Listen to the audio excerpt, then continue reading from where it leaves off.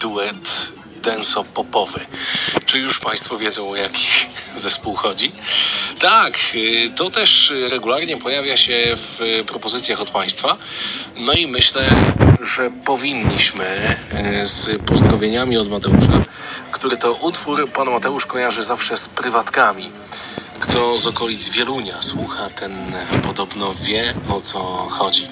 Pan Mateusz i prywatki przed radiem wspomina zespołem Modern Talking. Sherry, Sherry Lady, to u nas o 22.40 w Radiu Olsztyn.